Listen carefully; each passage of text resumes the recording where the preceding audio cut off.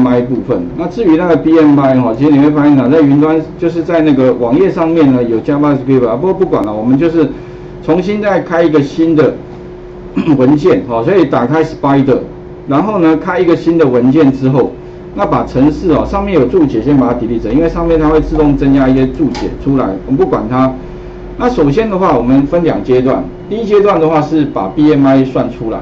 那 BMI 的规则哈，其实在那个网页上面其实有这个规则啦，其实就是什么，主要就是两个资料，所以你必须要输入两个资料，第一个是身高，有没有身高的平方？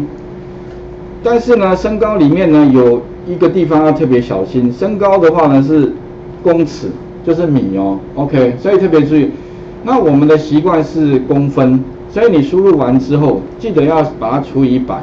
把它转成公尺，OK 哈，然后呢再把它平方，那平方还记得吧？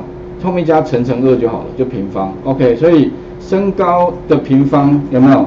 那所以呢体重也要输入，那体重的话就公斤，那这样的话呢就可以得到一个 BMI 的值了。所以哦，哎我们要怎么样输入得到这个资料？所以第一个要 input，那 input 的话呢哈，我们可能产生两个变数吧，一个叫 h，一个叫 w。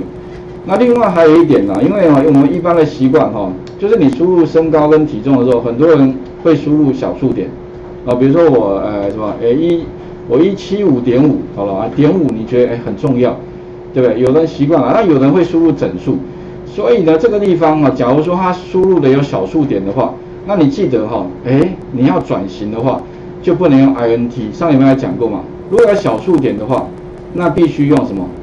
用 float。OK 哈，所以呢，我们要先让它输入身高，先让它输入，再来输入体重，然后呢，再把 BMI 把它计算出来，哎，所以第一阶段，但是呢，计算完之后，你会发现哦，这个小数点，而且小数点很长，所以呢，如果今天呢，我要让它取到小数点的第二位的话，该怎么做？OK 哈，所以呢，首先哈，程式该如何撰写？那我们来看一下，这不难的哈，这边已经有写好的。第一个的话呢。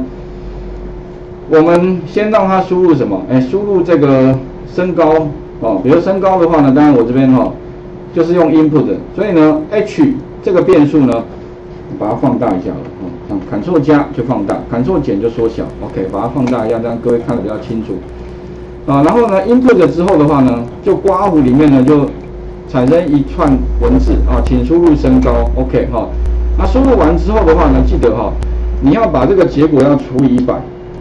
不过除一百之前哦，可能要先做一件事情，因为它输入的时候呢，input 输入之后的结果，它一律会把它转成文字。所以比如说你输入什么一，假设啦，你输入一一八零好了，它一定会什么，帮你输入完之后哈，input 自动变成这样子一八零，那或者是一八零点五，对不对哈？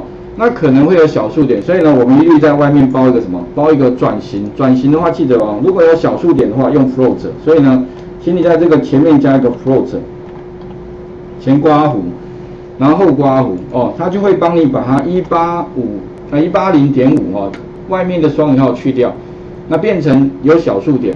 那最后呢，你再把它除以，哎，除以多？除以百。OK。那除以一百之后的话呢，它就变成假设哦，我们这边一八，把它缩小一点，OK 哈。那这样的话，它就变成了一点八零五，OK，就是说除以百之后的小数点了，OK 哈。那再来一样哈，我们就是请输入体重。那输入完之后的话，我要算出 BMI，所以底下我增加一个变数叫 BMI。BMI 等于什么呢？等于体重，体重就 W，有没有？除以什么呢？身高的平方，所以身高的平方乘乘二就可以了。好，那最后的话，我把这个 BMI print 出来，所以 print print 什么了？BMI 就可以了。所以这样的话呢，我就可以把 BMI 给算出来了。好，那这样程式基本上就完成了。OK，好，那我们来看一下哦。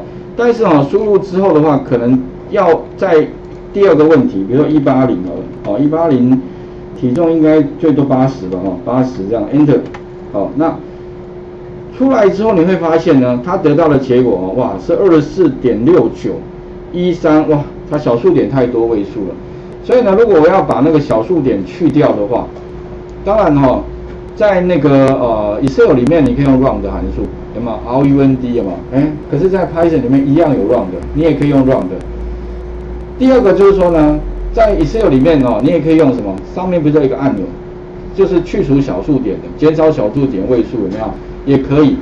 那一般的话呢，哈，我是建议各位哈，可以再多学比较常用的，就是格式化。也就是说呢，好像 Excel 里面不是要格式化成第二第二位数吗？那我们可以把它做格式化。可是，在 Python 里面哦，你必须要学一个函数，叫做 format。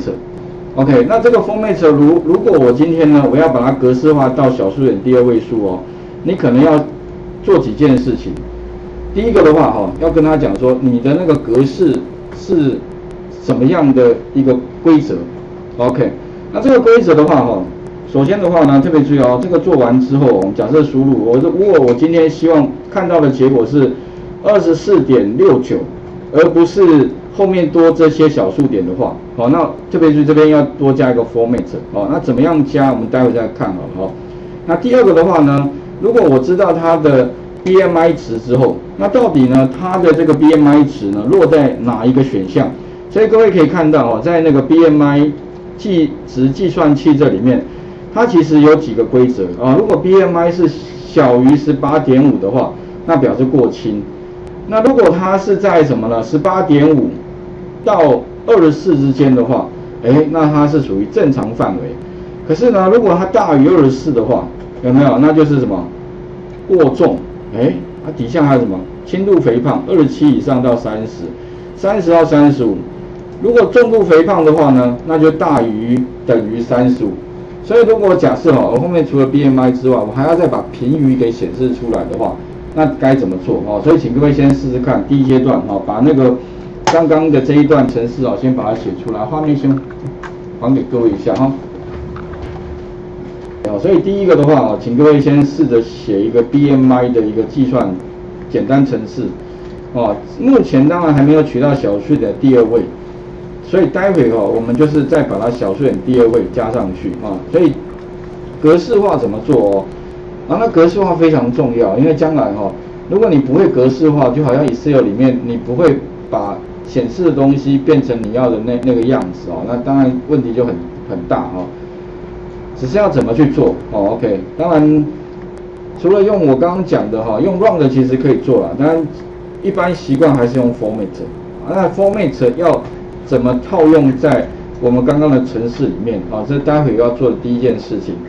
第二件事情的话呢，就是哈，哎，如果我希望呢，在底下哈写出一个逻辑判断，那这个逻辑判断啊，总共好像有几几啊几种哈，总共你会发现哦，总共有过轻，所以第一种正常，第二种过重，哎，过重呃异常范围的话哈，其实它分成过重、轻度肥胖、重度肥胖啊。中度哈，重度肥胖哦，所以总共一二三四五六六种的一这个逻辑判断。那当然上礼拜有讲过了啊，你可以用 if，然后再 l if l if l，那最后的话就是 else，OK 啊。